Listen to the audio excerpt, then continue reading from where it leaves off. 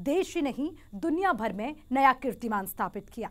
मनोहर लाल ये दावा करते नहीं थकते कि उनकी सरकार ने पिछले आठ सालों में हर वर्ग के स्वास्थ्य की चिंता की और इसके लिए कई ज़रूरी कदम उठाए गए।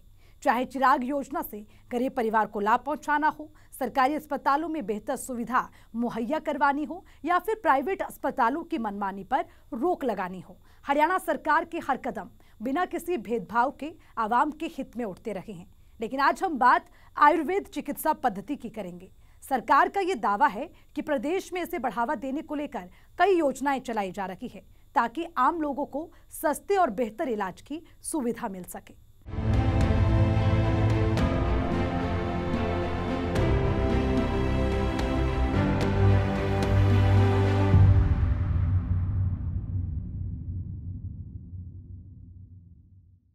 मुख्यमंत्री मनोहर लाल ने अपने कार्यकाल के करीब आठ सालों में हर मंच से ये दावा किया कि उनकी सरकार आम लोगों की सरकार है।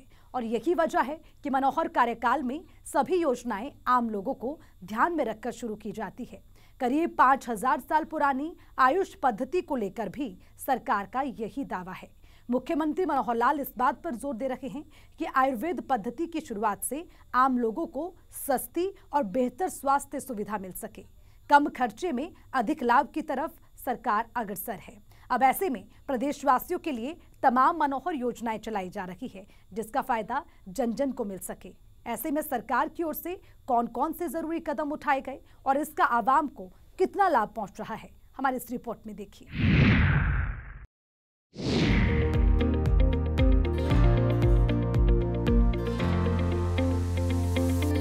आयुर्वेद हमें हज़ारों सालों से स्वस्थ जीवन का मार्ग दिखा रहा है। प्राचीन भारत में आयुर्वेद को लोगों के उपचार और स्वस्थ जीवन शैली व्यतीत करने का सर्वोत्तम तरीकों में से एक माना जाता था। अच्छे स्वास्थ्य को बनाए रखने के महत्व के कारण हमने आधुनिक विश्व में भी आयुर्वेद के सिद्धांतों और अवधारणाओं का उपयोग करना नहीं छोड़ा। ये है आयुर्वेद का महत्व। आयुर्वेद एक प्राचीन चिकित्सा विज्ञान है जो कम से कम पाँच हज़ार सालों से भारत में प्रचलित है। ये शब्द संस्कृत के शब्द अयुर, जीवन और वेद, यानी ज्ञान से आया है। आयुर्वेद या आयुर्वेदिक चिकित्सा को कई सदियों पहले ही वेदों और पुराणों में प्रलेखित किया गया था। ये बात और है कि आयुर्वेद सालों से विकसित हुआ है और अब योग सहित अन्य पारंपरिक प्रथाओं के साथ एकीकृत है। इस क्रम में आयुर्वेद को बढ़ावा देने के लिए सरकार सही कदम उठा रही है, जिससे आम जनमानस को इसका लाभ मिल सके। मुख्यमंत्री मनोहर लाल का यूँ ही नहीं आयुर्वेद के प्रति इतना झुकाव हुआ। अपनी ही एक समस्या का ज़िक्र करते हुए मुख्यमंत्री मनोहर लाल ने बताया कि 38 साल पहले वे खुद एक परेशानी लेकर विश्व विख्यात आयुर्वेद के ज्ञाता पद्मश्री पद्म भूषण से सम्मानित वैद्य देवेंद्र त्रिगुणा के पास गए थे और इस कार्यक्रम में उनसे मिलना किसी बड़े संयोग से कम नहीं। विश्वविख्यात आदरणीय वैद्य देवेंद्र त्रिगुणा जी जो पद्मश्री और पद्म विभूषण से सम्मानित हैं, आज इनके साथ मैं याद करना चाहूँगा आदरणीय स्वर्गीय वैद्य बृहस्पति देव जी भगवत त्रिगुणा जी को। इनके पूज्य पिताजी थे। मेरा उनसे बहुत पुराना संबंध रहा, उन्नीस सौ चौरासी पिचासी से। लगभग अड़तीस वर्ष पहले मैं मैं भी एक इलाज के लिए रोगी बनकर उनके पास गया था। और मुझे याद है कि जो मुझे थोड़ी समस्या हुई थी, उन्होंने ठीक कर दी थी। निजामुद्दीन के पीछे एक वैद्य की दुकान मुझे किसी ने बताया, बहुत प्रसिद्ध वैद्य है। और जब वहाँ गया तो मुझे पता लगा कि मैं तो ऐसे ही सामान्य व्यक्ति को आ गया हूँ, लेकिन कितने बड़े वैद्य हैं, उनका इलाज स्वयं उस समय के राष्ट्रपति, उस समय के उपराष्ट्रपति, उस समय के प्रधानमंत्री सब उनसे इलाज कराते थे। इतना बड़ा नाम था उनका? वैद्य जी से जब पिछली बार मिलना हुआ रोहतक में तो किसी एक कार्यक्रम की चर्चा हुई, मैंने कहा, ठीक है, मैं ज़रूर आऊँगा, लेकिन उस समय में वहाँ रोहतक में कार्यक्रम होना था, वो नहीं हो पाया। फिर कभी किसी अवसर पर आएँगे। और जैसे इस कार्यक्रम का निमंत्रण मुझे मिला, मैं आपको, उसमें कोई अतिशोक्ति नहीं है मेरे कहने में। जो मैंने वैद्य देवेंद्र त्रिगुणा जी का नाम पढ़ा, मैंने कहा, वो अवसर है मेरा हरियाणा प्रदेश के अंदर इस योजना का लाभ जन जन तक पहुँचाने का मनोहर काम किया गया है। हरियाणा के मुख्यमंत्री मनोहर लाल ने इस बात पर ज़ोर दिया कि देश में आयुर्वेद को बढ़ावा देने में हरियाणा प्रदेश का अहम योगदान रहेगा। प्रदेश की मनोहर सरकार ने आयुर्वेद को बढ़ावा देने के उद्देश्य से प्रदेश की राजधानी चंडीगढ़ में तीन दिवसीय आयुर्वेद पर्व का शुभारंभ किया। चंडीगढ़ के Shri Dhanvantari Ayurvedic college and hospital में तीन दिन आयुर्वेद पर देश भर से आए आयुर्वेद के विद्वान महामंथन करेंगे। इन तीनों दिन के आयुर्वेद कैंप में आम जनता के लिए फ्री एंट्री की भी व्यवस्था की गई है। इस मौके पर मुख्यमंत्री मनोहर लाल ने आयुर्वेद की तारीफ़ करते हुए कहा कि आयुर्वेद को बढ़ावा देने में हरियाणा अहम योगदान निभा रहा है। मनोहर ऐलान करते हुए मुख्यमंत्री ने कहा कि हरियाणा सरकार जल्द ही सूबे के कई जिलों में आयुर्वेद के कॉलेज खोलने की तैयारी कर रही है। मुख्यमंत्री मनोहर लाल ने बताया कि जो हमारा कुरुक्षेत्र में श्री कृष्णा आयुर्वेद कॉलेज है, उसे विश्वविद्यालय का रूप देने का काम किया गया है, जिसके लिए 100 एकड़ ज़मीन अलॉट की गई है, जिससे प्रदेश की जनता को उचित लाभ मिल सके। ये एक आयुर्वेद कॉलेज मंत्री आयुर्वेद कॉलेज, इतना बड़ा संस्थान चंडीगढ़ में, इसका नाम मैंने सुना नहीं था। आज आके देखा है तो वास्तव में एक विलक्षण लक्षण एक एक संस्थान आपने खड़ा किया हुआ और मेरी खुशी तब और बढ़ गई कि जब इस धर्मंत्री आयुर्वेद कॉलेज का जो पंजीकरण है या जो इसकी एफिलिएशन है, वो श्री कृष्णा आयुर्वेद विश्वविद्यालय कुरुक्षेत्र के साथ है, इससे मेरी और खुशी बढ़ गई।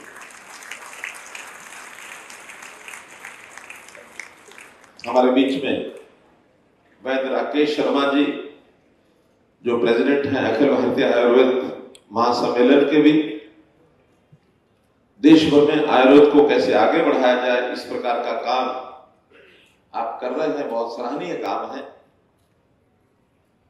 आयुर्वेद जितना ये पीछे चला गया था, लेकिन पिछले आठ दस वर्षों में एक बहुत तेज गति से आगे बढ़ रहा है, उसमें वैद्य राकेश शर्मा जी का योगदान है ही है। लेकिन दिशा दर्शन देश के प्रधानमंत्री श्री नरेंद्र मोदी जी का है। कि हमको वापस आयुर्वेद पर जाना चाहिए।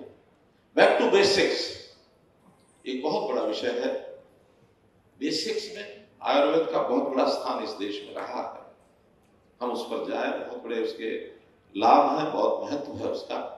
ऐसा काम आप कर रहे हैं। और हमारे बीच में चंडीगढ़ के प्रथम नागरिक, यहाँ के मेयर, भाई श्री अनूप गुप्ता जी। चंडीगढ़ का भी मेरे पास पार्टी का काम रहा है। तो छोटी आयु में ही अनूप गुप्ता जी थे जब साथ चलना शुरू किया था। इनके पिताजी को भी हम लोग साथ मिलकर चलते थे। तो आज ये मेयर है, बड़ी खुशी की बात है। और ऐसे ही चंडीगढ़ के हमारे मेयर कुछ वर्ष पहले इधर उधर भटक रहे थे। हमने कहा, ठीक रास्ते पर आ जाओ। तो ये ठीक रास्ते पर आए। चंडीगढ़ के मेयर बने और एक बहुत बड़ी शख्सियत की पंचकुला की, वहाँ के प्रथम नागरिक हैं, मेयर हैं।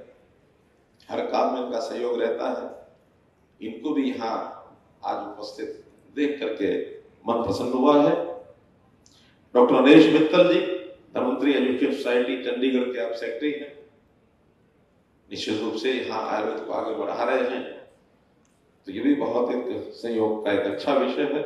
वैद अनिल भारद्वाज जी उपस्थित अन्य सभी मंचासीन सज्जन वृंद सामने बैठे हुए आयुर्वेद के पुरोधा, इस कॉलेज के छात्र छात्राओं सज्जन वृंद, पत्रकार, छायाकार मित्रों सुंदर अवसर है ये। जैसा मैंने बताया कि आयुर्वेद इस देश में एक समय था, पीछे जाता जा रहा था। और इस आयुर्वेद में, क्योंकि जो आयुर्वेद का ज्ञाता, आयुर्वेद का पुरोधा उसको वैद्य नाम से बुलाते हैं, जैसा वैद्य ने कहा, वही मेरे मन में भी आता है कि आज हमारे नौजवान पढ़ाई करते समय अपने आप को वैद्य कहने से थोड़ा दूरी बनाकर रखते हैं। डॉक्टर कहा जाए तो अच्छा लगता है। लेकिन वैद्यकीय परंपरा इस देश की प्राचीन परंपरा हर प्रकार के वैद्य थे, चाहे वो मेडिसिन में थे, चाहे वो शल्य चिकित्सा, हर प्रकार का काम करते थे। और देश के अंदर दो चीज़ें, चाहे वो चिकित्सा थी या शिक्षा थी, हर किसी व्यक्ति को बिना किसी कंसिडरेशन के, बिना किसी पैसे के उपलब्ध होती थी। समाज में एक ऐसा काम माना जाता था कि इससे बड़ा और पुण्य का काम नहीं सकता किसी के शरीर को स्वास्थ्य को ठीक कर देना, रोगी को निरोगी बना देना और किसी अशिक्षित को शिक्षित कर देना। लेकिन समय बीतता चला गया, बीतता चला गया, पाश्चात्य सभ्यता हावी होती चली गई और पैसे का रोल बहुत बड़ा हो गया। फिर हर चीज़ पैसे से इसकी तुलना की जाने लगी। बल्कि समाज में भी एक मान्यता घर कर गई कि जो पैसा देकर के लिया जाए, वो अच्छा है।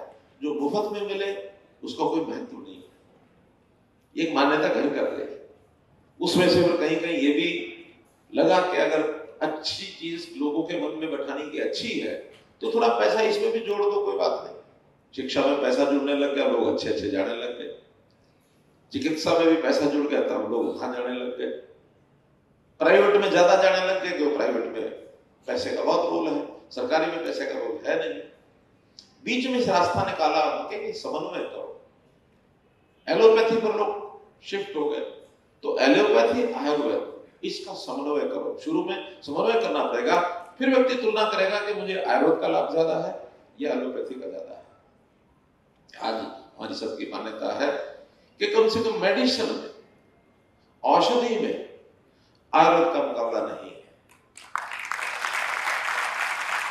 आज भले सर्जरी में शल्य चिकित्सा में हो सकता है हम वो प्राचीन विधि, क्योंकि बहुत सोस्टिकेटेड हो गया इंस्ट्रूमेंटल हो गया, बहुत डिजिटलाइजेशन हो गया, और अब तो उस प्रकार का शल्य चिकित्सा रहा ही नहीं तीर फड़ करने का। अब तो सीधा सीधा वो बिना अंदर कुछ डाले हुए भी लेजर से भी चिकित्सा हो जाती है। तो उसमें ठीक है एलोपैथी बहुत आगे है, लेकिन औषधि।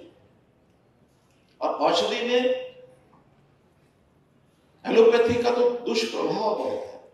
साइड इफेक्ट्स बहुत है। आयुर्वेद में कुछ नहीं। कोई भी प्रकार की औषधि आप खाएँगे तो इलाज में जितना रोगी को लाभदायक होगा, वो होगा, लेकिन उसकी हानि नहीं है। और ये बहुत बड़ी चीज़ है वरना एलोपैथी हम देखते हैं, एक चीज़ का इलाज कराते हैं, कुछ दिन तक शायद उसका राहत मिलती है साइड में कोई साइड इफ़ेक्ट करती दूसरी बीमारी शुरू हो जाती है। दूसरी का इलाज कराते हैं, तीसरी शुरू हो जाती है। और एक समय ऐसा था कि शरीर के अंदर हालत खराब हो जाती है सब कॉम्प्लिकेटेड चीज़ें खड़ी हो जाती है।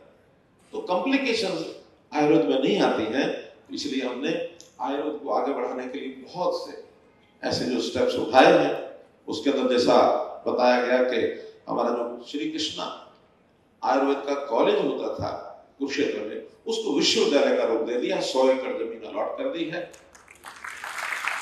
और वो विश्वविद्यालय अपने काम करना शुरू कर दिया अभी और उसके अंदर आगे बढ़ना है हमको। अच्छे वाइस चांसलर की बात आपने कही, मेरे भी मन में है।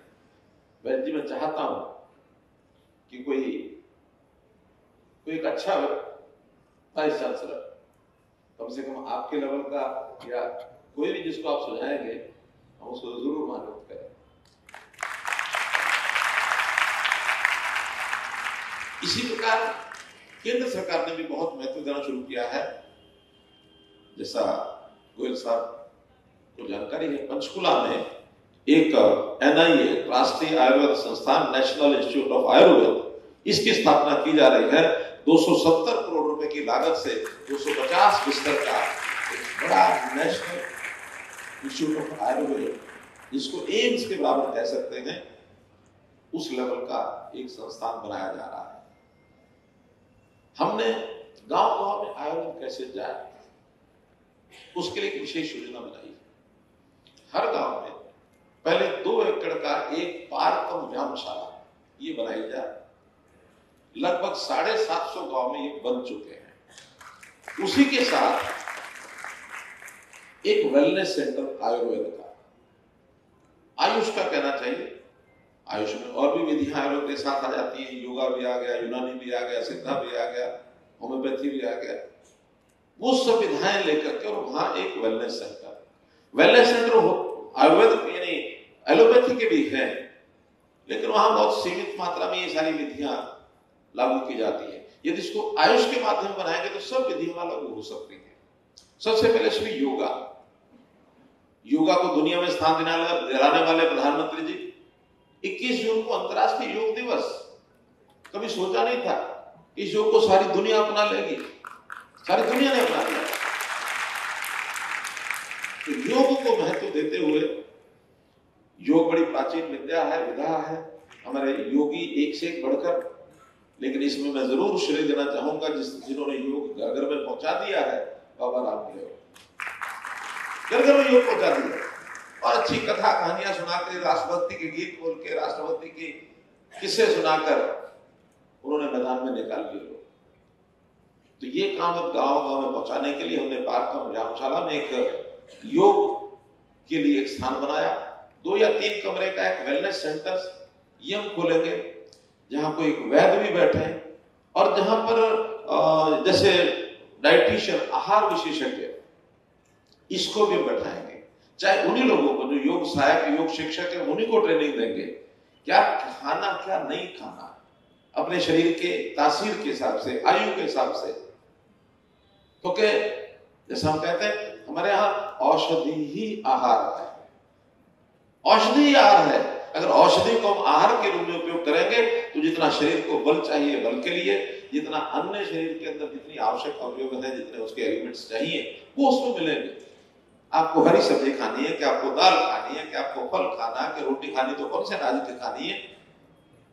आज ये बहुत यानी हेल्थ कॉन्शियस लोग हुए हैं, इन चीज़ों को वो फॉलो करते हैं इसको, इसके ऊपर चलने की कोशिश करते हैं। मुख्यमंत्री मनोहर लाल ने आयुर्वेद शब्द पर ज़ोर देते हुए कहा कि नाम से ही पता चलता है कि ये आयु बढ़ाने की विद्या है।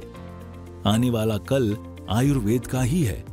केंद्र सरकार की आयुष्मान योजना का भी ज़िक्र करते हुए मुख्यमंत्री मनोहर लाल ने प्रधानमंत्री मोदी का धन्यवाद किया, जिसमें पात्र लोगों को स्वास्थ्य सेवाएँ उपलब्ध करवाई जा रही हैं।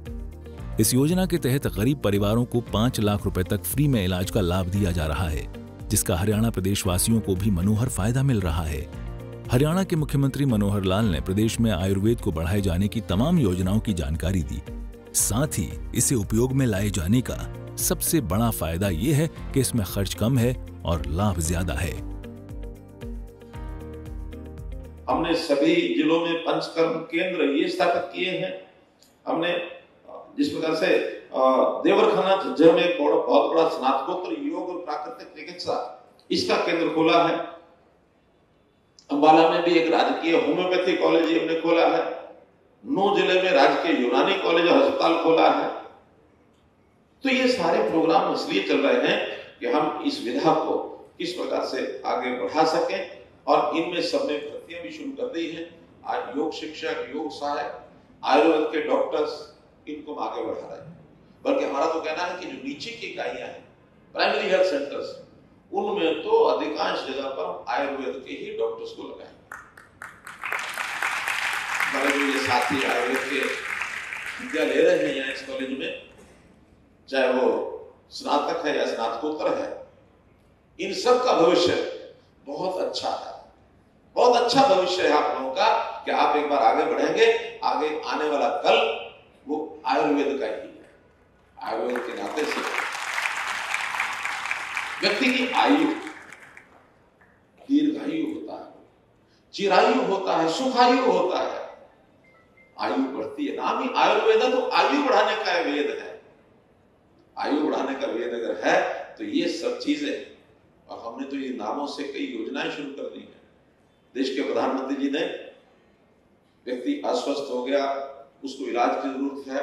गरीब आदमी का खर्चा इतना ज़्यादा हो जाता है कि कई बार तो उसका घर उजड़ जाता है।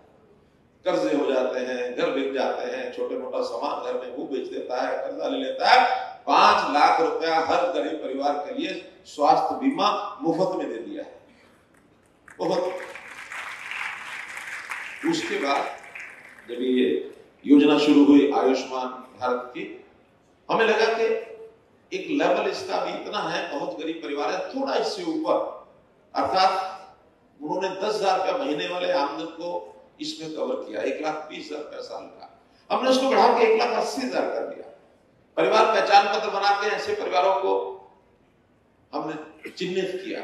और चिन्हित करके उनको सबको कहा कि इनको भी कवर करेंगे, उसमें सरकारी हरियाणा, भारत सरकार के साढ़े पंद्रह लाख परिवार थे हरियाणा में हमने उनको बढ़ा करके उनतीस लाख कर दिया, साढ़े तेरह लाख परिवार और जोड़ दिए। उसका खर्च हरियाणा सरकार करेगी फिर कुछ लोगों का कि नहीं, और बढ़ना चाहिए आगे।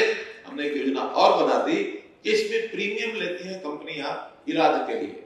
लगभग तीन हज़ार रुपया पर हेड का खर्चा आता है। हमने कहा, एक अस्सी से लेके तीन लाख सरकार जिसकी सालाना इनकम है, ऐसे आठ लाख परिवार इनको आधा प्रीमियम पंद्रह सौ रुपया साल का पाँच लाख रुपए की सुविधा उनको भी दे दी है। तो ऐसे हमारे यहाँ सैंतीस, अड़तीस लाख परिवार इस योजना में कर यानी कवर हो गए हैं more than fifty percent fifty four percent है। हमारी सत्तर लाख की परिवारों की संख्या है तो उसमें सैंतीस लाख परिवार इसमें उन्हें जोड़ दिए ताकि किसी को स्वास्थ्य के नाते घर से पैसा कम से कम पाँच लाख रुपए तक तो ना लगाना पड़े। इससे ज़्यादा कोई इक्का दुक्का परिवार होंगे, उनकी सहायता करने को तो अलग से की जा सकती है। इसका नाम भी हमने चिरायु योजना रखा है। एक योजना हमने बनाई है कि हर स्वस्थ व्यक्ति का भी साल में, डेढ़ साल में एक बार, उसके सारे जो शारीरिक, फ़िज़िकल टेस्ट हैं, मेडिकल टेस्ट, सब कराते ही जाके अपने अपने लैब में। जब भी कोई डॉक्टर कहता तब हमने कहा, डॉक्टर के कहने पर क्यों? आखिर गरीब परिवार को उसके हर सदस्य का डेढ़ साल में एक बार मैक्सिमम दो साल में जितनी बार मतलब उसकी टर्न आएगी तो दो साल बाद भी आएगी। इनके सबके टेस्ट फ्री ऑफ़ कॉस्ट ये हम कराएँगे। निरोगी हरियाणा, इसका नाम रखा। ये रोग प्रारंभ हुआ तो पता लगना चाहिए तुरंत। अगर एक बार पता नहीं लगा, लापरवाही हो गई तो बीमारी बढ़ते बढ़ते कोई ऐसा स्वरूप ले ले जब नो रिटर्न की अगर बात आ गई तो फिर व्यक्ति को कोई फ़ायदा नहीं है टेस्ट कराने का। क्रॉनिक डिज़ीज़ डिज़ीज़ कई बार बन जाती है। प्रारंभ ही पता लग जाए। बहुत से बच्चों को छोटी छोटी बीमारियाँ शुरू में पता नहीं लगता। और हमारे इस टेस्टिंग में से बहुत ऐसे निकल के आ रहे हैं केस जिसमें प्रारंभिक बीमारियाँ वहीं पर पता लग जाती है। तो ये काम भी हमने, यानी गरीब परिवारों के लिए शुरू कर दिया है। अब लगभग इसमें एक चार लाख लोगों तक तो टेस्ट हो चुके हैं, लेकिन संख्या मैंने सवा करोड़ की है। हम इसमें आगे योजना बढ़ा रहे हैं। प्राइवेट लैब्स प्राइवेट ऐसी संस्थाएँ संस्थाएँ भी बहुत काम करती है। और जो प्राइवेट हॉस्पिटल है, उनको भी अपेनल करके और इस विषय को हम आगे बढ़ाएँगे। मेरा तो आज मुख्य रूप से इतना ही कहना है कि हमारी जो विधि है, इस विधि को आगे बढ़ाने के लिए हरियाणा सरकार बहुत कुछ कर रही है, लेकिन आप जो कि इस कॉलेज के चाहे छात्र छात्राएँ हैं, चाहे यहाँ का हमारा जो पढ़ाने वाले शिक्षक हैं, वैद्य हैं वो सब इन विधाओं में अच्छे सुझाव दे सकते हैं कि और अच्छा क्या किया जा सकता है। आयुर्वेद के नाते आप जो सुझाव देंगे, उसको हम लागू करेंगे उसको लागू करेंगे एक एक क्लैश, एक संघर्ष थोड़ा एलोपैथी का और आयुर्वेद का भी चलता है। अभी एलोपैथी ने आयुर्वेद को दबा के रखा हुआ है। अब हम आने वाले भविष्य में, जैसा मैं अपने वैद्य जी से बात कर रहा था वैद्य राकेश शर्मा जी से, क्योंकि भारत सरकार में इनके में कुछ काम है। तो एक ऐसा एडवांस कोर्स जिसमें एलोपैथी भी हो और आयुर्वेद भी हो, एक मिला जुला एडवांस कोर्स की डिग्री ये हम कॉलेज में दे सके, तब जाकर के समस्याएँ हल समस्याएँ हल हो जाएँगी, वो उसको समझे, वो उसको समझे, जो अच्छा है, उसको आगे बढ़ाएँ, क्योंकि आयुर्वेद में लाभ भी अच्छा है, खर्च भी कम है। मुख्यमंत्री मनोहर लाल ने योग पर भी ज़ोर देने का काम किया। साथ ही बताया कि एलोपैथिक और आयुर्वेदिक का समन्वय करना बेहद ज़रूरी है। आयुर्वेद के क्षेत्र में नित निरंतर तरक्की कर रहे हरियाणा प्रदेश को हर दिन नई मनोहर योजनाओं से संवारने का काम हरियाणा सरकार कर रही है। इस कड़ी में पंचकूला में राष्ट्रीय आयुर्वेद संस्थान की स्थापना 270 करोड़ की लागत से की जा रही है। साथ ही हर गाँव में दो एकड़ का पार्क और व्यायामशाला बनाए जाने का काम भी तेज़ी से चल रहा है, जिनमें लगभग साढ़े सात लाख गाँवों में पार्क और व्यायामशालाएँ बनाए जा चुकी हैं और लगातार मनोहर योजनाओं के साथ प्रदेश को संवारने का काम किया जा रहा है, ताकि प्रदेश में हर किसी को रोग से निजात मिल सके।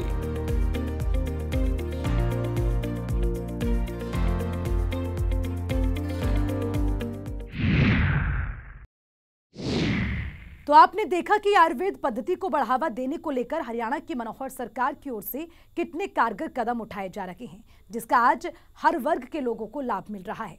प्रदेशवासियों के स्वास्थ्य के प्रति संजीदा मनोहर सरकार हर रोज इस क्षेत्र में नया काम कर रही है, ताकि लोगों को कम खर्चे में बेहतर से बेहतर इलाज मिल सके। आज हरियाणा सरकार की ओर से चलाई जा रही योजनाओं, नीतियों का लाभ हर वर्ग को भरपूर मिल रहा है, और यही वजह है कि मुख्यमंत्री मनोहर लाल अब तक प्रदेश के सबसे लोकप्रिय मुख्यमंत्री साबित हो रहे हैं। तो इसी के साथ दीजिए इजाज़त। कल फिर मिलेंगे इसी विकासशील हरियाणा में। इसी समय किसी नई मनोहर विकासशील नीतियों के साथ। नमस्कार।